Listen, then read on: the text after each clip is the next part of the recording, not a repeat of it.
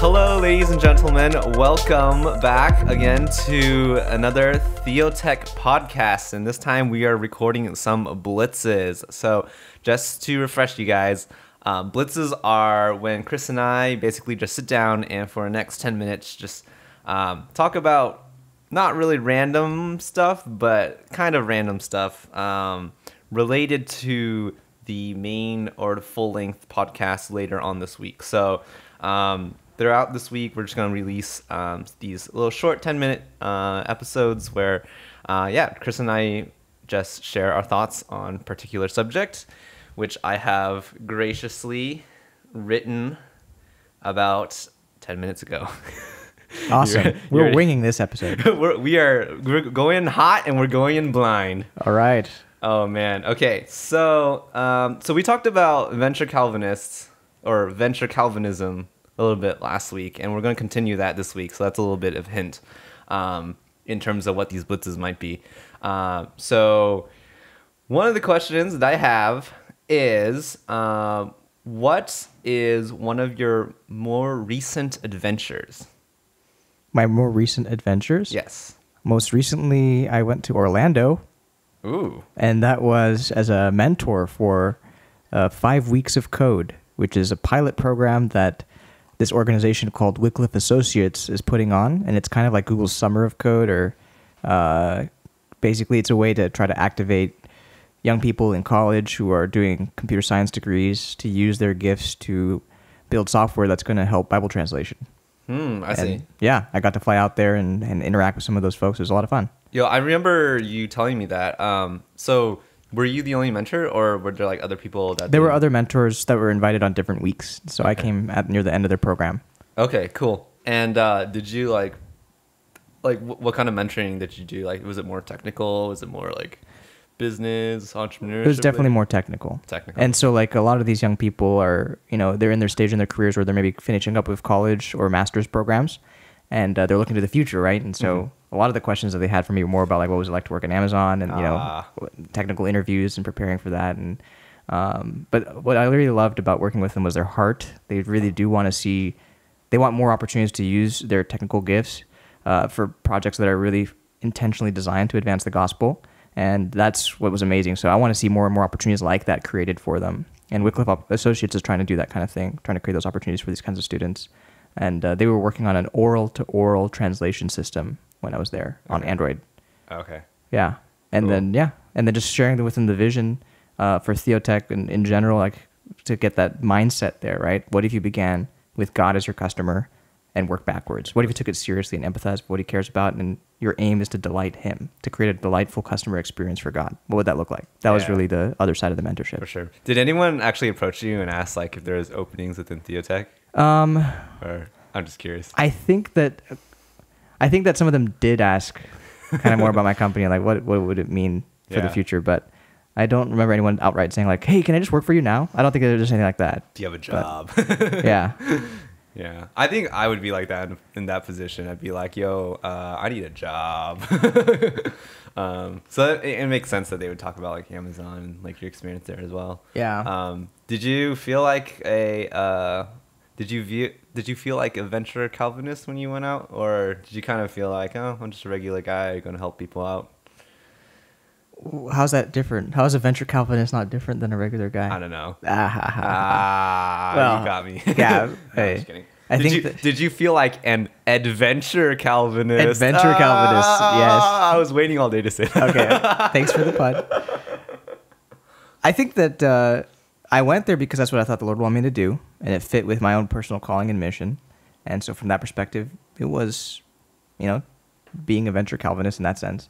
Was I doing? Was I taking any massive risk or anything? Not, not really. But it fit with the dream of seeing more and more believers thinking that way, right? And thinking about how they can take risks to advance the gospel with what God has gifted them in. And so, from that perspective, it fits with a mission. Hmm. But it's I don't even know if it really makes sense to apply that label. I think that most anytime a believer steps out in faith, uh, even in the small things or the big things, they're kind of doing what a venture Calvinist would do. Yeah. Well, I, I guess you did have to sacrifice some time, right? And then Absolutely, and playing- yeah, and some people ask me like, "Is this a good use of your time and stuff?" and Yeah. all all the things like that. But again, it, because it fit with the mission, Yeah, because I mean, you're still trying to grow your company, and like you could use definitely use that time to like invest in other things. So the fact that you just like step out, and also like you you'll never know like where these students may end up. Like some of them may um, end up in like Amazon and like not really like directly affecting you or your ministry. So like you're investing in people that may never ever return. any Oh, yeah. favors, right? So I think yeah, that's a good point that you make. And um, because uh, that I mean the reason why I say this is because like uh, I grew up doing youth ministry, and I think one of the mentalities that uh, I have when I'm doing youth ministry is that I have to commit to the fact that some of these kids may never like repay me, and I'm totally fine with that. And actually, that's something that I encourage them to do, uh, which is to not focus so much on repaying me, but also to like uh, invest in the next generation. So when they become like my age or when they become older, like um, keep in mind that like they have the responsibility to invest in that next generation. So I encourage like my my students to not to think about you know paying back, but in terms of like a mentor, like that's something that I keep in mind. So I. That's don't know if you had that. yeah. idea. my mindset is actually that uh, whatever good one does, this will receive back from the Lord. And so whether you're helping the next generation or even older people or companies or whatever, like you know, there's many people that you help and get nothing in return for. yeah, for sure. I mean, I was helping this Wycliffe Associates, and do I get any direct return? Not quite, not really. yeah, Um, and they're an organization; they're not, they're not like the next generation. But right.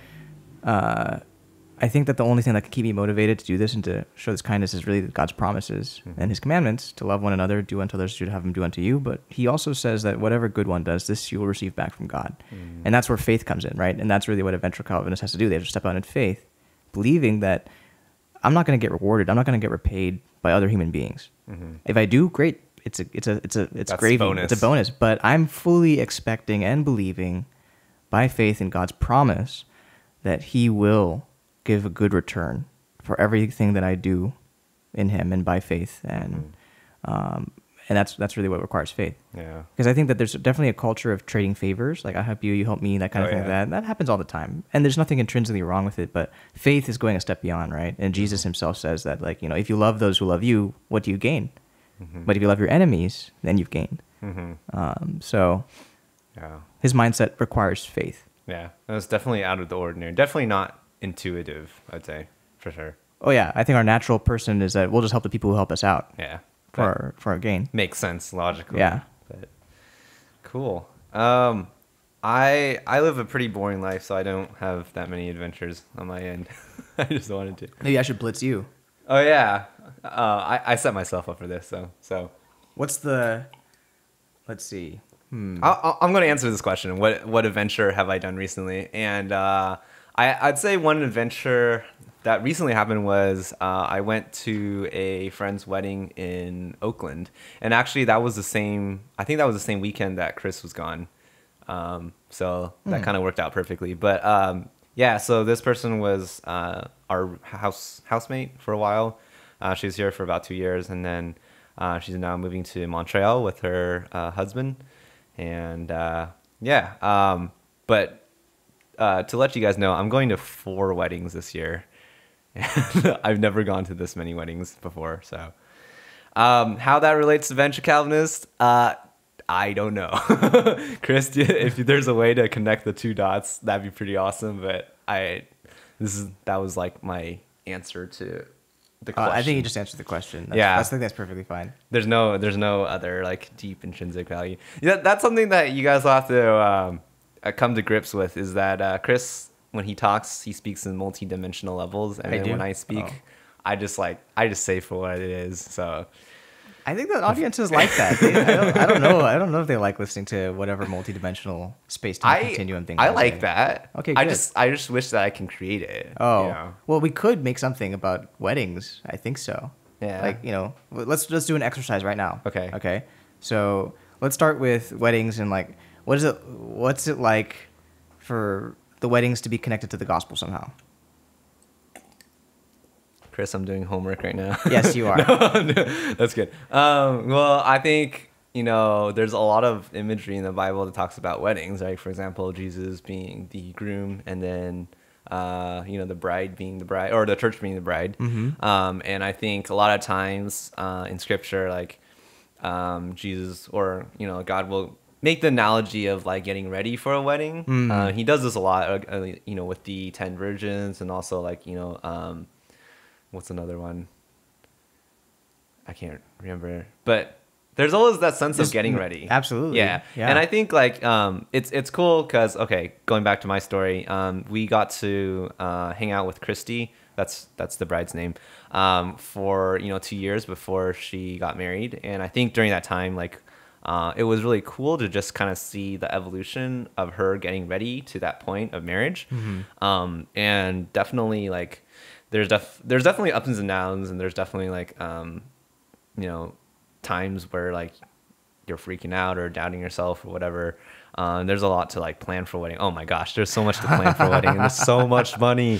Why do you guys take my money? No, just kidding. Um, but you know, like in the end, um, you're you're gonna be living with someone else for the rest of your life, and that's like that's a huge thing. And I understand like everything that goes into a wedding, but god damn, like that's it's expensive. My sister's also getting married uh, soon, uh, and by soon I mean like next month. So like she's getting ready. Uh, yeah. So you're stressed out for other reasons. I'm not. Well, I'm not stressed out. I'm just looking at these people like, oh my god, like really. See, I feel like you know what I feel like is that uh, what probably what I would take away from a wedding is the central experience ought to be in a sense joy. That's true. Not so much the stress of the pre-wedding and all that kind of stuff like that. But it's interesting that you mentioned that because um, in a lot of ways, what we experience in our lives today uh, are that kind of stressful anxiety about whether or not it's really going to happen. You know, getting everything ready. Are we like you know, is everything in place? Are we going to make it? And uh, I can totally see how the gospel ties into that because in this life we have all these trials that we're going through in preparation for the great wedding feast. And the thing that really sustains you is the joy of that day that you believe is going to exceed all the suffering that you're going through right now and that will endure forever. Yeah, for sure. That's huge. That's huge. Like, you know, this is not a small matter. Um, and so, although our earthly weddings, you know, are limited, the, anytime that they echo that future one that God is setting up. So, this is, I'm going to tie it to, you know, venture Calvinism now, like, right? Oh, Wedding okay. planning is a business. Here we go, guys. Here we go. Wedding planning is a business, right? Wedding planners are paid really well. Wedding photographers are paid really well to capture the moment, to make it a magical experience, you know, all those kind of things for the bride and group and for all their guests, right? And uh, in a sense, you could ask the question of like, what would Earth's most God-centered wedding look like? If God was the customer, what kind of wedding would he want? Interesting. If you had a wedding planning business, how would you go about making preparations for his son's wedding? He hired you. oh, that's a really interesting. what did question. you do right and uh, and so that kind of ties it into the bigger picture and uh, in that sense if you could if you could empathize with what he really values and you could envision the way that he wants his wedding to be that gives you a lot of inspiration in the present day for how our weddings could reflect that future hope um, so i throw that out there as a question i'm not answering it i'm not an expert in the wedding planning industry uh, but you know that's that's applying that god-centered mindset if god was your customer how would you arrange the wedding Yeah, for sure. That's. I mean, that's something to think about. Both. I mean, I'm single, so I don't have to think about this for a while. Actually, we're both single. it could happen overnight. yeah.